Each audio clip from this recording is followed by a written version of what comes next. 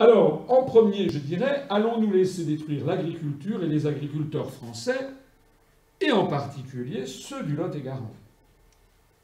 Ça, c'est l'évolution du nombre d'agriculteurs français au cours de la période de 1962 à 2006. En 1962, il y avait 3 millions d'agriculteurs en France.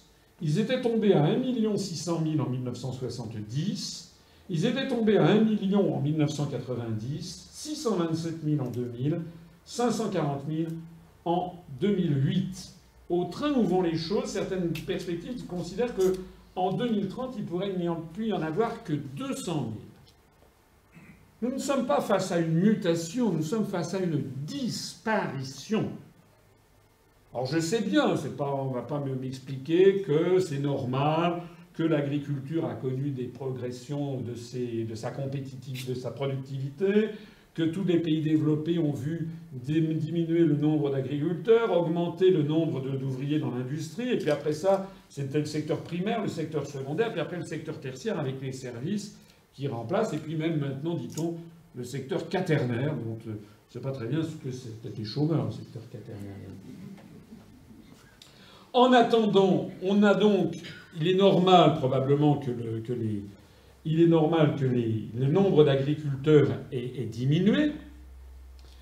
Mais à ce rythme-là, nous sommes vraiment vers une évolution qui pose un problème, c'est-à-dire est-ce que l'on va voir, est-ce que l'on va assister à la disparition de l'agriculture en France, c'est-à-dire d'ailleurs à peu près ce qui, ce qui est arrivé euh, au Royaume-Uni. Ça, c'est le niveau français. Je voudrais dire que c'est la même chose dans le Lot-et-Garonne. Il y avait 50 000 agriculteurs dans le Lot-et-Garonne en 1962. Il y en avait plus que 25 600 en 1982. 14 800 en 2005. Alors, les dernières statistiques, semble-t-il, montreraient qu'on serait aux alentours de 11 000 ou 10 000. On va vers une disparition alors que c'est un des départements les plus agricoles de France.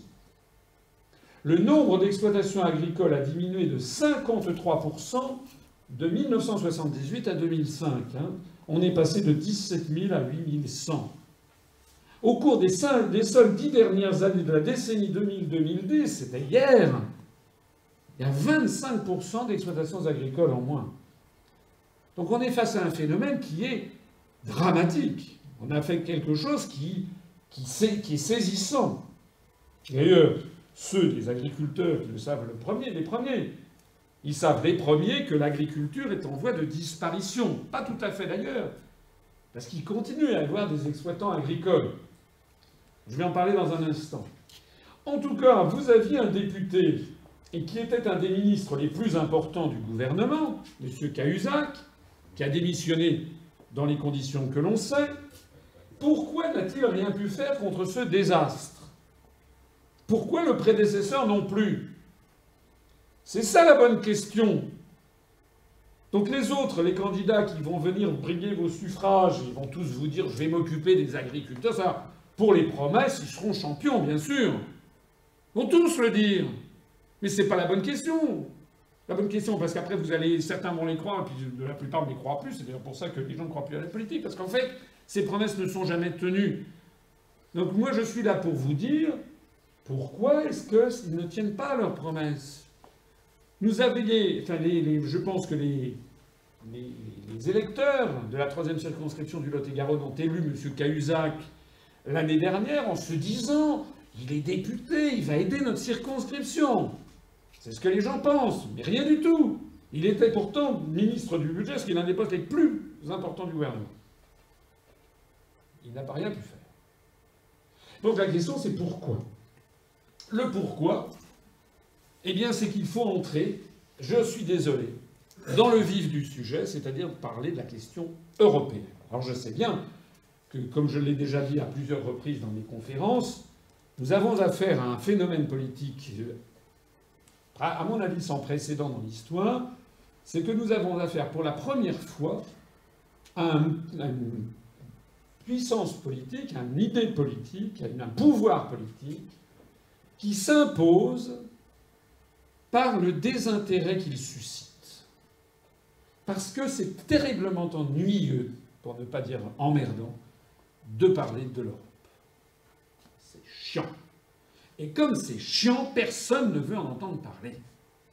Et pour la première fois dans l'histoire, c'est beaucoup plus sophistiqué que les, tentatives antérieures sur des, siècles, des millénaires de tentatives de dictature. Avant, un dictateur s'imposait par en envoyant des armées, des chars dans les rues, des, ou des soldats. Mais ça, c'était, si j'ose dire, euh, de la gnognotte. Hitler, Staline, Pol Pot, c'était de la gnognotte. Maintenant, nous avons quelque chose de beaucoup plus raffiné, c'est faire quelque chose de très complexe, de difficile à comprendre. On présente ça comme quelque chose d'inévitable. On fait ça avec d'autres pays pour diluer les responsabilités. Plus personne n'y comprend rien. Et le résultat des courses, c'est que les gens finissent par sombrer dans le désespoir en se disant qu'il y a une espèce de fatalité du monde à laquelle ils ne peuvent rien. Alors, le traité sur le fonctionnement de l'Union européenne, il y a deux articles dans le traité sur le fonctionnement de l'Union européenne qui concernent l'agriculture en particulier. Il y a l'article 32 et l'article 39. L'article 32 assujettit la, comment dirais-je, l'agriculture au marché intérieur, c'est-à-dire que tous les produits agricoles doivent circuler librement à l'intérieur de l'Union européenne sans qu'il y ait de barrières douanières, sont assujettis également aux décisions concernant les tarifs extérieurs communs, c'est-à-dire qu'on laisse entrer dans l'Union européenne des productions agricoles qui viennent de l'extérieur. Cet article 32 du TFUE a pour implication que les agriculteurs français, notamment ceux du lac de Garonne, sont mis en concurrence insupportable à l'intérieur même de l'Europe, par exemple avec l'Allemagne, où il n'y a pas de SMIC horaire dans l'agriculture en Allemagne. En France, il faut payer un ouvrier agricole au SMIC horaire, qui est de l'ordre de 9 euros, 10 euros de l'heure. Bien. D'ailleurs, personnellement, je trouve ça bien. Je trouve normal que l'on paye les gens correctement. C'est quand même un pays civilisé fait ça. En Allemagne, il n'y a pas de SMIC horaire dans l'agriculture. En Allemagne, on peut payer les ouvriers agricoles, notamment des migrants hein, venant d'Ukraine, par exemple, au moment des. J'en parlerai tout à l'heure au moment de la culture des fruits, on peut les payer 5 euros, 4 euros de l'heure. Et nous sommes en concurrence avec ça. Les agriculteurs français sont en concurrence avec ça. Il ne faut pas s'étonner évidemment après ça qu'ils n'arrivent pas à être compétitifs.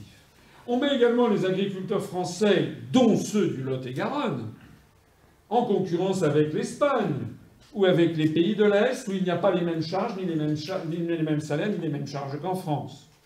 On les met aussi en concurrence avec l'ensemble des pays du monde où les salaires et les conditions de travail détruisent toute concurrence. Il suffit de voir dans les grandes surfaces, par exemple, des productions agricoles qui viennent parfois de l'autre bout du monde et qui sont en concurrence ça n'est pas toujours vrai, ça dépend des saisons. Il y a parfois des fruits à contre-saison qui viennent du Chili ou d'Afrique du Sud. Mais ils arrivent aussi à des mi-saisons ou même en permanence qu'il y ait des concurrences venant de l'autre bout du monde sur des produits agricoles français. Ça, c'est l'article 32. L'article 39, quant à lui, toujours dans le traité sur le fonctionnement de l'Union européenne, prévoit que la politique agricole commune a pour but, je le cite, d'accroître la productivité de l'agriculture en développant le progrès technique, en assurant le développement rationnel de la production agricole, ainsi qu'un emploi optimum des facteurs de production, notamment de la main-d'œuvre. Ça veut dire quoi? Ça veut dire que l'objectif qui a été fixé par les traités, ça n'est pas un objectif ni de maintien de, l'emploi en zone agricole, ni de maintien des territoires ni de maintien de la qualité des mets ou de l'amélioration de la qualité des produits. On aurait pu avoir ça. La politique agricole commune a pour but, premièrement, d'améliorer constamment la, qualité des produits, euh, également leur côté sain. On aurait pu avoir qu'elle a pour but de maintenir en zone rurale, dans un objectif d'équilibre territorial, de maintenir une main-d'œuvre euh, qui soit sur place et qui travaillent dans le monde agricole. Non, pas du tout. C'est l'objectif, c'est d'accroître la productivité de l'agriculture. Ce qui d'ailleurs est un peu dément. Parce que si vous y réfléchissez bien, vous avez quelque chose qui dit qu'il faut constamment accroître la productivité. C'est un traité.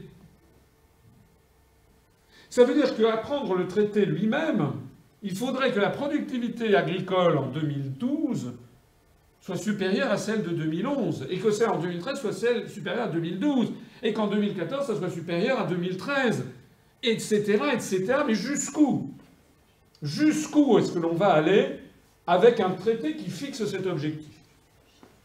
En tout cas, le développement rationnel de la production agricole, le progrès technique, derrière ces formules se cache ce que l'on constate de plus en plus, c'est-à-dire que l'on impose aux agriculteurs une agriculture de plus en plus normalisée.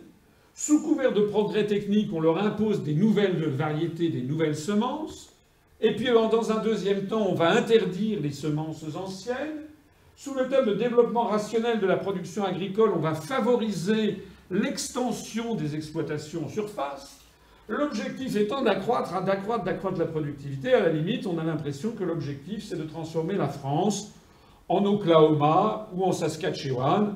Vous savez, ces espèces de terres des pays du Canada ou des États-Unis, ces grandes terres de l'Ouest, des grandes plaines où on a des exploitations euh, qui, euh, il y a trois personnes qui s'en occupent, qui, font de, de l'épandage de pesticides par avion euh, sur des centaines et des centaines d'hectares. On est à l'antithèse exacte de la civilisation, des civilisations européennes, en particulier de l'agriculture française. C'est dans de cet article 39 du TFUE que les agriculteurs français, notamment ceux du Lot-et-Garonne, sont obligés à suivre une course folle à la productivité, d'une part au détriment de la santé et de l'environnement, l'augmentation continuelle de l'utilisation des pesticides, l'utilisation des farines animales, deuxièmement au détriment de la qualité gustative, le développement des cultures hors sol par exemple, troisièmement au détriment des terroirs et de l'identité agricole, avec des exploitations qui deviennent géantes et inhumaines, avec l'interdiction de semences anciennes, avec la fonctionnalisation des agriculteurs qui croulent désormais sous la paperasse venue de Bruxelles. Donc le triste bilan maintenant de la politique agricole depuis 30 ans. L'Union européenne met en concurrence frontale les agriculteurs des pays d'Europe avec ceux du monde entier au nom d'une vision ultralibérale. Ça permet aux grands groupes de la distribution et de l'agroalimentaire d'imposer aux agriculteurs français des prix alignés sur les prix mondiaux.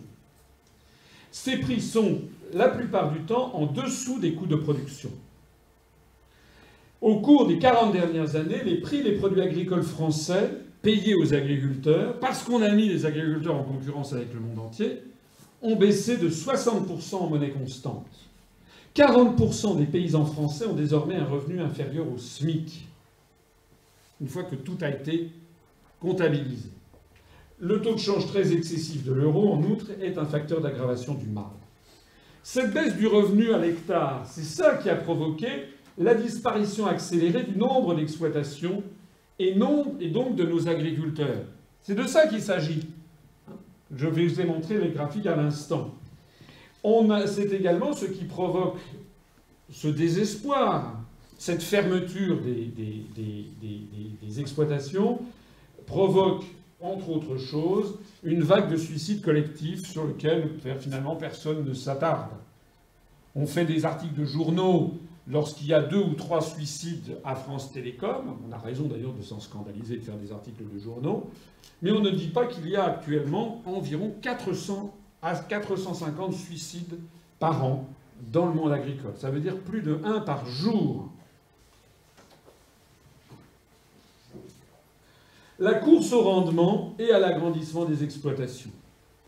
Puisque justement on ne peut s'en sortir qu'à la condition d'avoir des grandes exploitations, eh bien, on va à la course au rendement, la perte des terroirs et l'entretien des paysages. Pour tenter de survivre, beaucoup d'agriculteurs tentent de se réfugier dans des stratégies dites de niche, avec des produits haut de gamme, des produits bio, qui sont plus rémunérateurs, mais cette solution ne peut pas concerner le plus grand nombre. Le résultat des courses, c'est donc une augmentation constante des pesticides. On le constate dans le Lot-et-Garonne. Dans le Lot-et-Garonne, les producteurs de fruits et légumes font face à la forte concurrence de l'Espagne, en particulier pour les tomates. Je rappelle que le Lot-et-Garonne est le premier producteur français, des premiers départements producteurs de, de tomates, 10% de la production française, notamment du côté de Marmande. Mais aussi la concurrence pour les fraises. C'est la première production française. 25% des fraises en France sont produites dans le Lot-et-Garonne. Pour faire face à la concurrence notamment espagnole ou hollandaise pour les tomates, certains des agriculteurs sont donc contraints de faire de la culture hors sol, de la culture intensive pour produire des tomates ou des fraises qui n'ont aucun goût, vous les avez, vous avez certainement goûté, ou qui ont moins de goût, donc euh, ça nécessite toujours plus de pesticides, tout ceci au détriment de l'environnement, de la santé et de la qualité gustative. Et puis dans le Lot-et-Garonne, bah, comme suivant la, enfin, ce qui se passe au niveau national, la taille moyenne des exploitations est passée de 20 à 40 hectares de 1970 à 2010. Donc on a un effondrement du nombre d'exploitants et une augmentation constante de la taille moyenne des exploitations. C'est exactement le schéma américain qui est promu par la Commission européenne et par les traités européens. Le pire, c'est qu'au même moment que le prix qui est payé aux agriculteurs ne cesse de diminuer, ce qui les force justement soit à quitter la terre et à vendre leur terrain euh, aux voisins d'à côté pour qu'il y en ait un qui, qui, qui continue à survivre, au même moment, les prix de vente aux consommateurs, eux, ne baissent pas. Alors si les prix d'achat aux agriculteurs baissent que les prix de vente ne baissent pas, pour les gens qui, pour les consommateurs, ça veut dire qu'il y a quelqu'un qui se fait une marge qui grossit. Et la marge qui grossit, eh bien, ce sont les grandes chaînes de distribution qui augmentent leur profit. Donc au bout du compte, la politique agricole commune, la PAC, s'est progressivement dénaturée. Elle est devenue un instrument au bénéfice quasiment exclusif des groupes financiers qui contrôlent l'agroalimentaire et la distribution au détriment de l'agriculture et des agriculteurs. C'est de ça qu'il s'agit en réalité. Un exemple des conséquences de la construction européenne dans la filière fruits et légumes, qui requiert beaucoup de manœuvres, les producteurs français sont déplacés dans une situation impossible, je l'évoquais rapidement tout à l'heure, du fait de la législation française, ils sont tenus de rémunérer au SMIC, c'est-à-dire environ 9 à 10 euros de l'heure, leurs ouvriers saisonniers, qui sont désormais presque tous venus du Maghreb, de Turquie ou des pays de l'Est, Pologne, Ukraine, Moldavie. Mais le SMIC n'existant pas en Allemagne, leurs concurrents allemands payent les mêmes ouvriers saisonniers 5 à 6 euros de l'heure. Le résultat, c'est évidemment qu'on n'est pas, compétitif. Monsieur Fillon, qui était de la Sarthe, avait saisi la Commission européenne pour demander l'autorisation, parce qu'il avait été lui-même saisi, saisi d'effroi, il avait été saisi par la, filière fruits et légumes de, de la FNSEA, qui avait demandé que les agriculteurs bénéficient de subventions parce que ce système, c'est toujours le même. Pour que les gens ne meurent pas, on est obligé de demander des subventions. Sauf que la Commission européenne a refusé le versement des subventions au nom de la, que ça nuirait à la concurrence.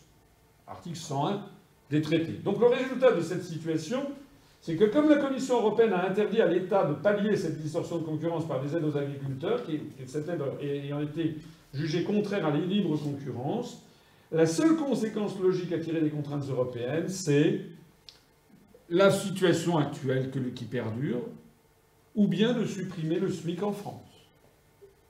Alors comme on n'ose pas supprimer le SMIC en France pour des raisons sociales, quoique ça va bien finir par arriver, je suppose, parce que monsieur, Sarah, monsieur j'allais dire monsieur Sarkozy, lapsus, monsieur Sarkoland, monsieur Hollande, Hollandy, euh, Hollande, monsieur Hollande, en fait, est en train de, tout simplement, euh, vous l'avez vu, de supprimer le contrat à durée indéterminée il est en train bientôt de désindexer les retraites. Donc de la même façon, ça viendra peut-être, mais en tout cas la logique, c'est effectivement la logique au moins disant sociale et la logique de la destruction de l'agriculture. J'ajoute qu'il faut ajouter à tout ça l'inflation des, des, réglementations européennes. Ça, c'est le nombre de pages du journal officiel des communautés européennes. C'est un peu l'équivalent du journal officiel. C'est toutes les réglementations européennes. Vous voyez que dans les débuts de la construction européenne, en 1957, il n'y avait rien. En 1969, lorsque De Gaulle s'en va du pouvoir, il devait y avoir peut-être, je ne sais pas, 100 pages de réglementations européennes. Ça concernait essentiellement d'ailleurs la politique agricole commune qu'il avait obtenue, parce qu'à l'époque, ça fonctionnait au bénéfice de la France. C'était les Allemands, si j'ose dire, qui payaient les agriculteurs français. C'était l'Europe des six. Mais vous voyez quelle a été l'évolution depuis, c'est-à-dire un rythme de prolifération exponentielle. 250 000 pages de réglementation européenne en 2011. Actuellement, la réglementation européenne s'accroît d'environ 100 pages de plus par jour ouvrable 12 pages supplémentaires par heure de travail. Ça ne concerne pas que l'agriculteur, mais ça concerne les agriculteurs. Il y a des gens d'ailleurs qui disent Ah, mais euh, c'est les énarques. Il y a Sud Radio qui m'a dit Ah, vous êtes énarque, vous savez que les, les gens ne supportent plus les élites. Mais à la Commission européenne, il n'y a pas un énarque. À la Banque Centrale Européenne, il n'y a pas un énarque. À l'OTAN, il n'y a pas un énarque. À la Cour de justice de l'Union Européenne, il n'y a pas un énarque. Chez Monsanto, il n'y a pas un énarque. Chez BASF, il n'y a pas un énarque. Je ne suis pas là pour défendre les énarques, je m'en fiche éperdument. Et je dis simplement, quelle est l'origine des problèmes? Si actuellement, dans le Lot-et-Garonne, comme partout ailleurs en France, les agriculteurs sont transformés en fonctionnaires, ils sont envahis par la paperasse administrative d'origine bruxelloise, ça n'est pas une fantaisie venue des bureaux parisiens, ça vient des réglementations européennes qui imposent, n'est-ce pas, de plus en plus, dans tous les domaines, une réglementation unique et qui en profite pour promouvoir les semences brevetées par tel ou tel grand groupe financier, les OGM, les pesticides, etc. Tout ça qui est poussé par les grandes forces financières qui en fait tirent les ficelles de la Commission européenne. Ça ne concerne pas que les agriculteurs. La conclusion, c'est que l'agriculture française est sur la voie du déclin. Elle est dépassée désormais par l'agriculture allemande, chose qui était inconcevable il y a encore cinq ans. Les dégâts ne sont pas seulement financiers, ils sont aussi d'ordre moral. La prolifération des réglementations européennes retire aux agriculteurs ce qui faisait l'un des attraits les plus forts de leur métier, c'est-à-dire la liberté. C'était la liberté de travailler la terre comme ils le souhaitaient, au moment où ils le souhaitaient, d'utiliser les semences qu'ils voulaient, de faire ce qu'ils voulaient. Tout ceci désormais est en, passe d'être un ancien souvenir, puisque désormais on a l'impression qu'ils sont corsetés par des réglementations dans tous les domaines, ce qui n'est pas pour rien d'ailleurs dans le fait qu'un certain nombre d'entre eux quittent la Terre, voire, dans les cas les plus dramatiques, se suicident. La construction européenne est ainsi en train de tuer financièrement, physiquement et mentalement le grenier agricole de l'Europe qu'était la France depuis des siècles. Alors, il y a une objection qui est souvent faite par les agriculteurs eux-mêmes. Oui, d'accord, mais heureusement que l'Europe est là pour nous verser des subventions. Parce que si d'aventure l'Europe n'était pas là, alors là, ce serait la fin des haricots. Le problème, c'est que cette objection est un mensonge. Enfin, repose sur un tour de passe-passe. Je voudrais rappeler qu'une Europe ne produit rien.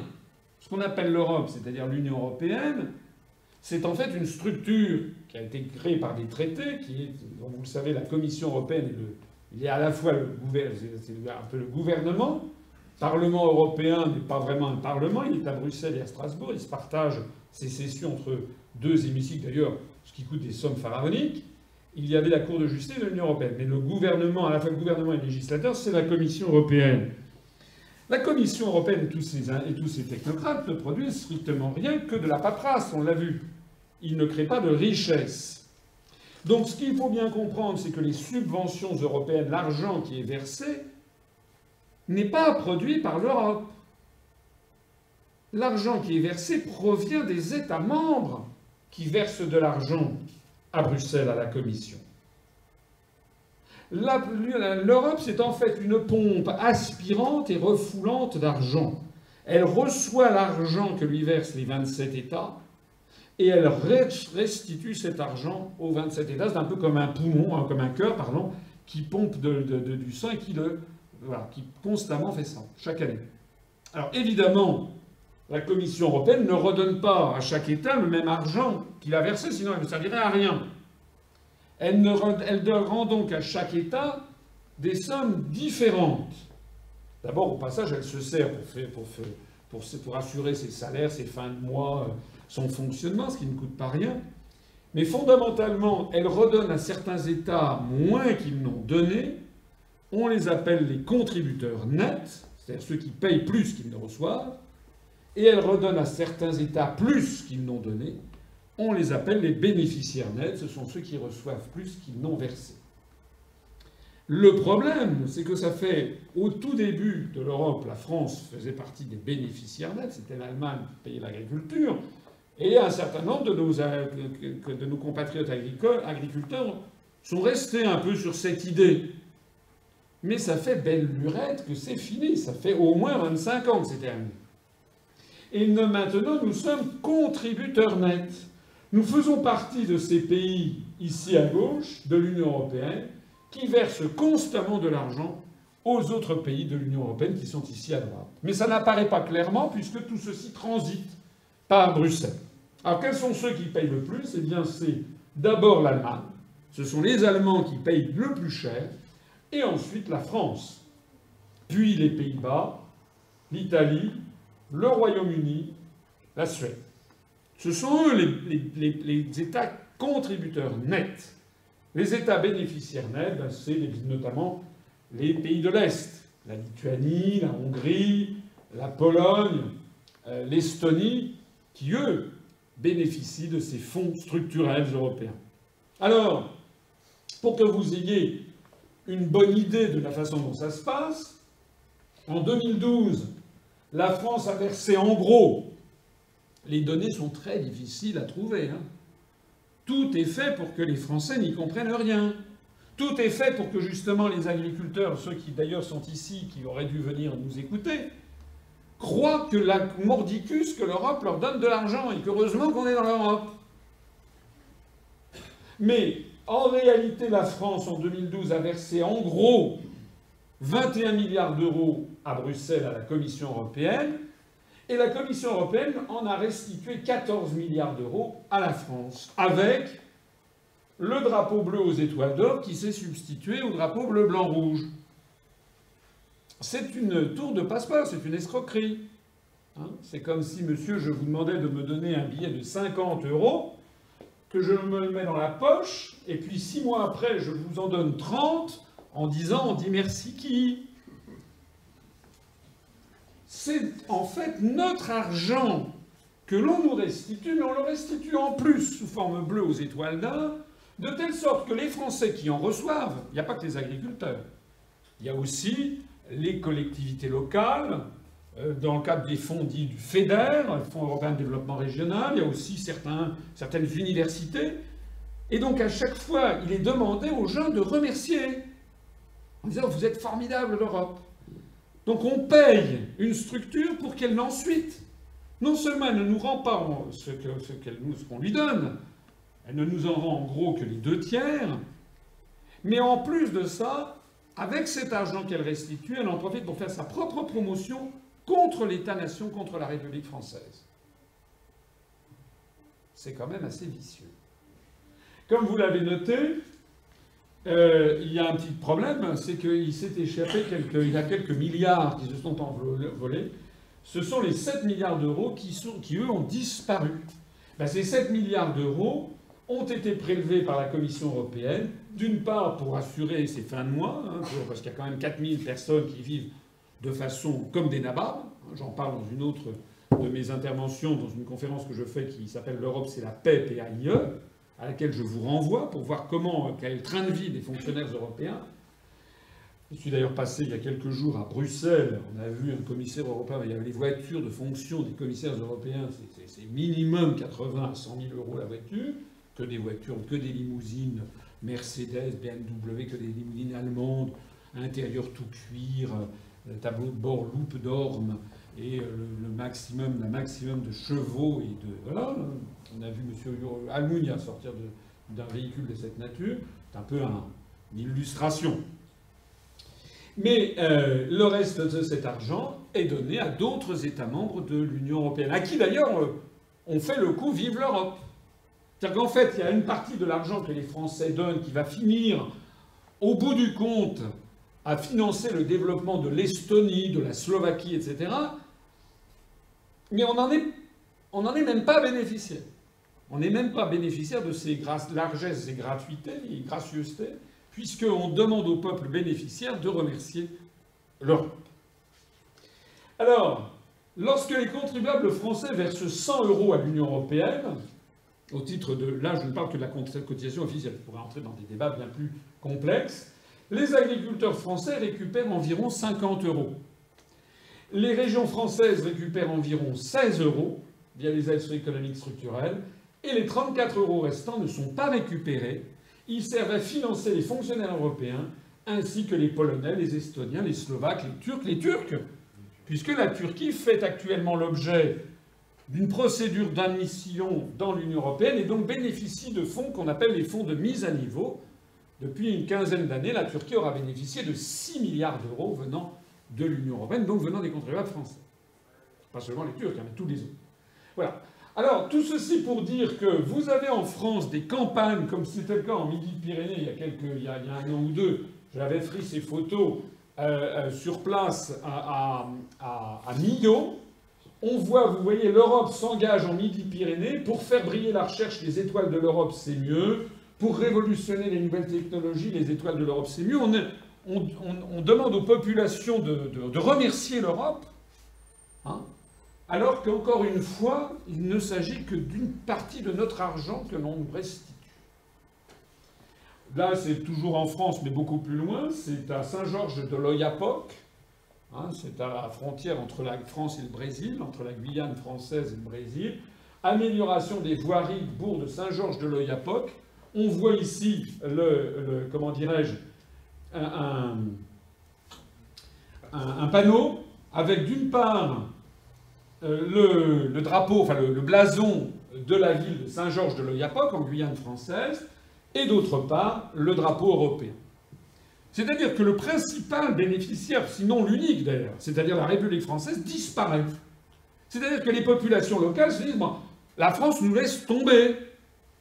Vive l'Europe Alors c'est pas seulement vrai en Guyane ou, au Midi-Pyrénées. Là j'ai fait quelques saisies d'écran. Ici vous voyez investissement prévisionnel, ça c'est ce qu'on trouve le long des routes. On voit toujours le drapeau européen. Là le port autonome de Rouen aménagement du boulevard maritime. Les travaux sont financés par l'Union européenne, le port autonome de Rouen, le Conseil régional de Haute-Normandie, le Conseil général de Seine-Maritime, la communauté d'agglomération rouennaise. Lorsque les gens voient ça, ils se disent la République française ne sert à rien. Alors qu'en réalité, c'est certainement la France, l'État France, qui paye le plus. Bon, pareil pour Strasbourg. En conséquence, et je m'adresse ici aux électeurs agriculteurs, ne vous laissez pas intimider par la propagande. Les subventions dites européennes sont en fait payées par les Français. Elles ne représentent même qu'une partie de ce que nous versons à l'Union européenne. En d'autres termes, vous détestez l'Europe, les, agriculteurs voient bien à quel point les réglementations européennes sont en train de les emmener dans le décor, plus exactement dans l'autodestruction, dans, la perte complète de ce qu'était l'agriculture française. Mais le dernier truc qui les relie à l'Europe, c'est qu'ils pensent que si on sortait de l'Union européenne, eh bien, ça serait une catastrophe parce qu'ils n'auraient cette fois-ci, alors là, ils, mourraient tout de suite, ils n'auraient plus de subventions. Je suis là pour vous dire que, en réalité, si nous sortons de l'Union européenne, non seulement la France pourra toujours verser le même montant de subventions aux agriculteurs, mais cette fois-ci, au lieu que ça transite par Bruxelles, on le donnera directement aux agriculteurs, ça ira plus vite, il y aura le drapeau bleu-blanc-rouge. Les agriculteurs sont contents, et on tient, ben voilà, en fait, la France se rappelle qu'on existe. En fait, elle ne l'a jamais oublié, simplement, c'est cette procédure machiavélique qui fait qu'on euh, on n'apparaît plus dans ce que nous faisons, en remplaçant le drapeau européen, on remplacera le drapeau européen par le drapeau tricolore, mais en plus de ça, la République française aura fait 7 milliards d'euros d'économies de plus, qu'elle pourra soit économiser, puisqu'il paraît qu'on a une dette publique considérable, soit pour les consacrer à des politiques sociales. Voilà. Donc, si vous voulez que votre nouveau député agisse vraiment pour assurer, euh, pour, vous garantir euh, qu'on va arrêter la destruction de l'agriculteur et des agriculteurs du Lot-et-Garonne, qu'est-ce que vous allez faire? Est-ce que vous allez voter pour un socialiste qui va continuer à approuver le schéma actuel de l'Union européenne, ou pour un UMP qui va continuer à approuver la même chose, ou pour le MoDem?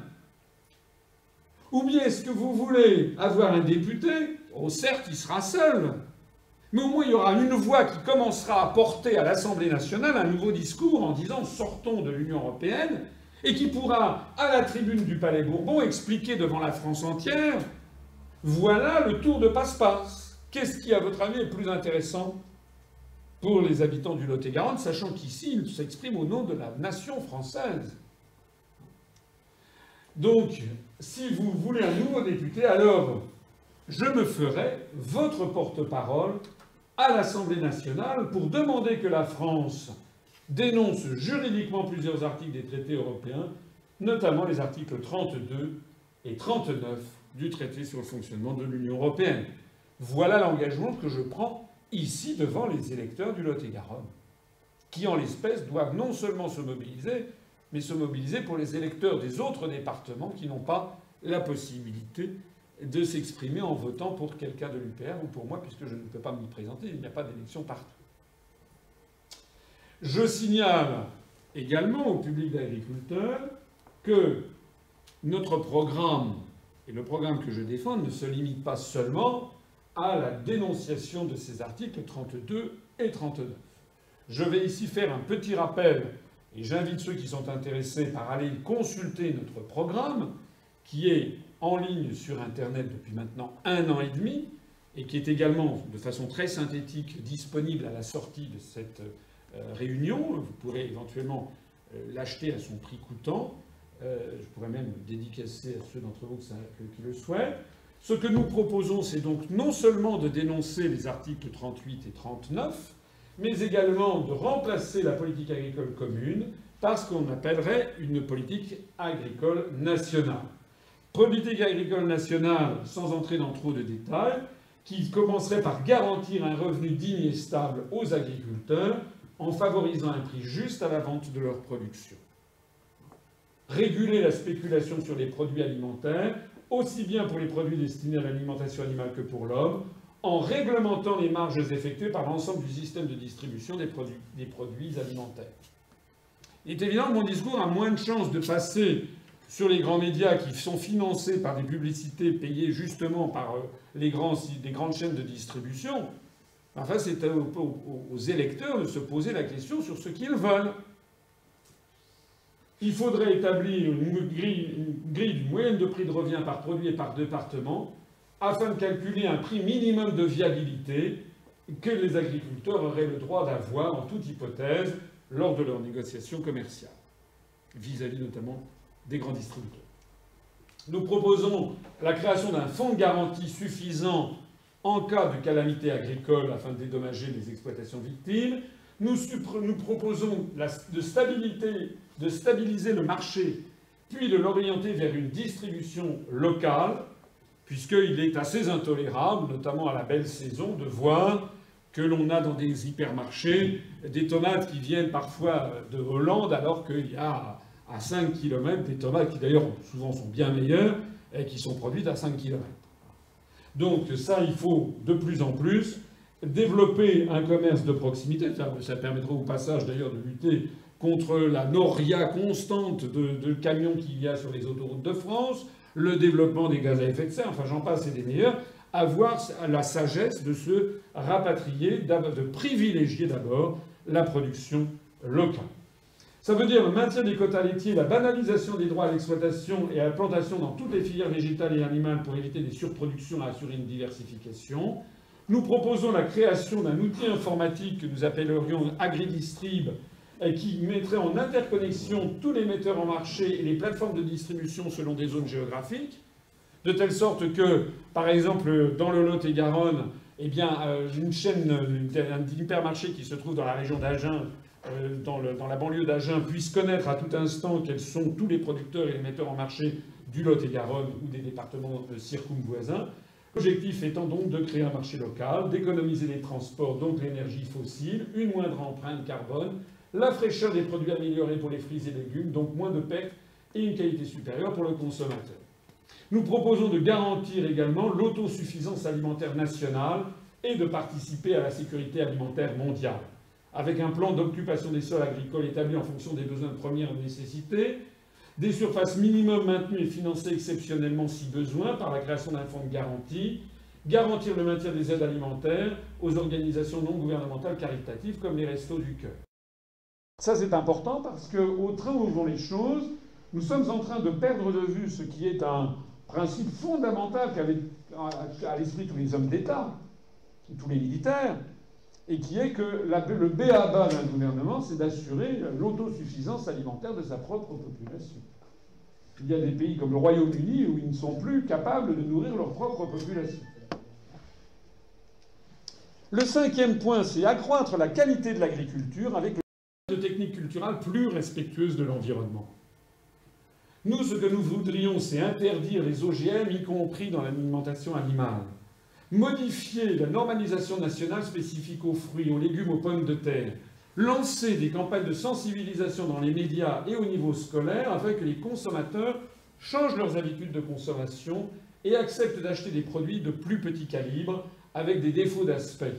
Hein D'ailleurs, c'est un peu en cours, enfin, dans certains magasins qu'on commence à trouver dans les villes, des magasins bio, où les gens commencent à revenir à une conception plus intelligente, finalement, de l'agriculture. On n'a pas besoin d'avoir les, les, carottes ou les, ou les, ou les, les, les, oranges qui sont avec du cirage ou les carottes qui sont toutes complètement calibrées ne sont pas forcément meilleures, même plutôt moins bonnes, euh, que des produits plus sains.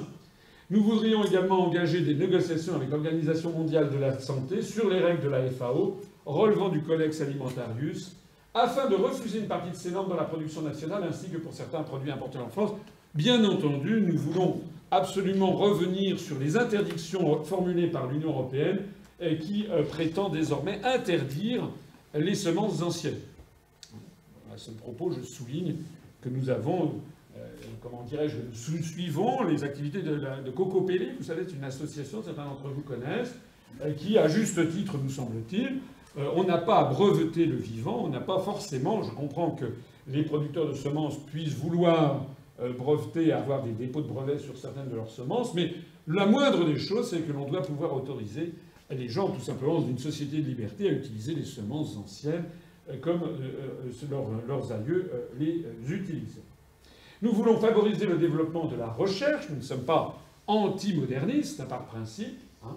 Mais actuellement, parce qu'il y a des choses qui sont bien, qui sont faites, on peut trouver par exemple par des croisements naturels, par de la recherche euh, comment dire, génétique, mais sans modification génétique, hein, simplement par la, sélectivité, la sélection des cultures, comme ça s'est fait depuis toute éternité, améliorer progressivement les qualités des aliments, assurer des prix raisonnables aux consommateurs, avec un budget d'alimentation qui ne devrait pas dépasser 20% de leur budget global, favoriser le recyclage des produits alimentaires non conformes, qui actuellement il y a, un déchet colossal qui est produit euh, dans euh, les sociétés occidentales, en particulier euh, en France, pour tout ce qui est déchets alimentaires et produits non conformes, et puis assurer la gestion sociale de l'agriculture.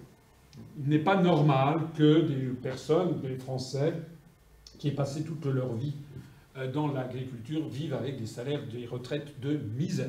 Voilà. Donc il faut assurer absolument une retraite décente aux agriculteurs, instaurer une aide humaine pour accompagner les installations des jeunes agriculteurs. Il faut arrêter avec cette espèce de fatalité qui fait croire que l'agriculture va disparaître en France. C'est un facteur important d'identité, d'identité des territoires, d'identité nationale. La France, c'est quand même, depuis Jules César, c'est avec l'Ukraine les deux grands pays agricoles de l'Europe.